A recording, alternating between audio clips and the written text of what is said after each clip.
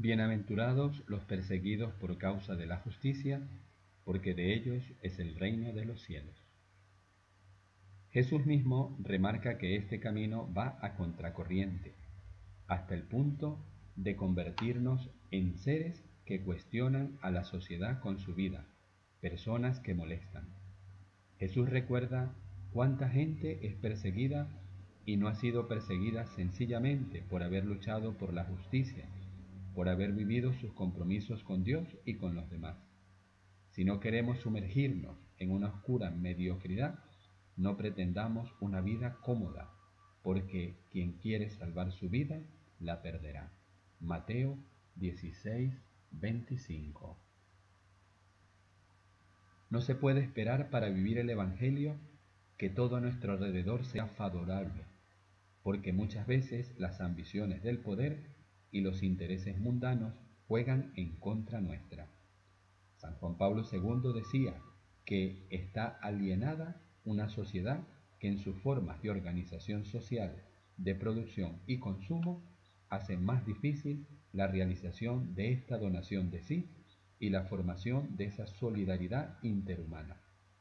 En una sociedad así, alienada, atrapada en una trama política, mediática, económica, cultural e incluso religiosa que impide un auténtico desarrollo humano y social, se vuelve difícil vivir las bienaventuranzas, llegando incluso a ser algo mal visto, sospechoso, ridiculizado. La cruz, sobre todo los cansancios y los dolores que soportamos por vivir el mandamiento del amor y el camino de la justicia, es fuente de maduración y de santificación. Recordemos que cuando el Nuevo Testamento habla de los sufrimientos que hay que soportar por el Evangelio, se refiere precisamente a las persecuciones. Hechos 5:41, Filipenses 1:29, Colosenses 1:24, Segunda Timoteo 1:12, Primera de Pedro 2:20, 4:14-16, Apocalipsis 2:10.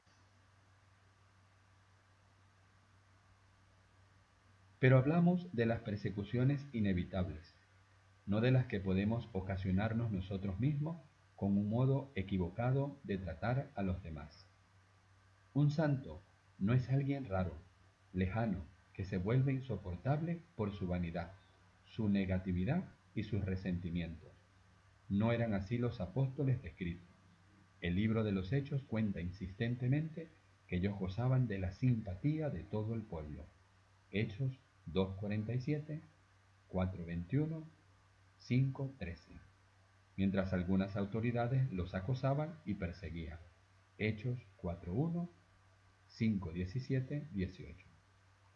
Las persecuciones no son una realidad del pasado, porque hoy también las sufrimos, sea de manera cruenta, como tantos mártires contemporáneos, o de un modo más sutil, a través de las calumnias y falsedades. Jesús dice que habrá felicidad cuando os calumnien de cualquier modo por mi causa. Mateo 5:11. Otras veces se trata de burlas que intentan desfigurar nuestra fe y hacernos pasar como seres ridículos. Aceptar cada día el camino del Evangelio, aunque nos traiga problemas, esto es santidad.